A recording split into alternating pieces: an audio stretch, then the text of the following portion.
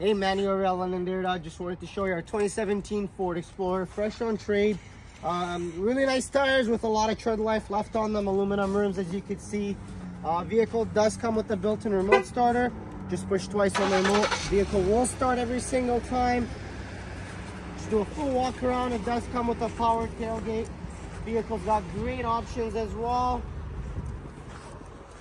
As you can see, yeah, now we'll hop on the interior. I'll show you a couple more options on the inside and then let me know what you All think. right, let's hop on the inside. It does have keyless entry. Just grab the door and the vehicle automatically unlock. Powered seats, powered windows as well. Nice aluminum touch here.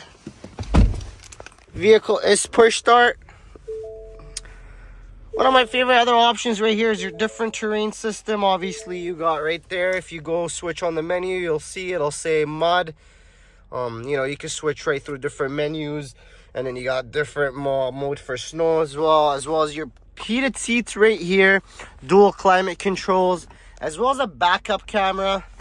You have a digital speedometer right there as well. Really nice looking vehicle very very clean interior.